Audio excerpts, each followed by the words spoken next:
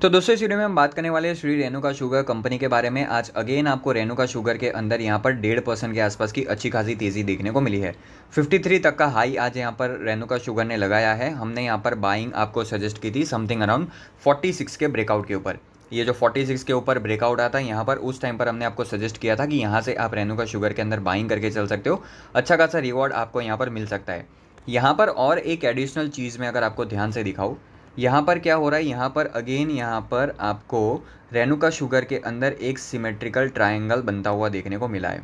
ठीक है some sort of एक सिमेट्रिकल ट्राइंगल है। Support support support resistance resistance and यहाँ पर एक ब्रेकआउट टारगेट कहाँ तक मिलेगा? टारगेट आपको जो भी यहाँ पर टॉप स्विंग होगा, वहाँ तक का मिलेगा। यानी 60 तक का आपका टारगेट यहाँ पर एक्टिव हो चुका है रेनुका शुगर के अंदर।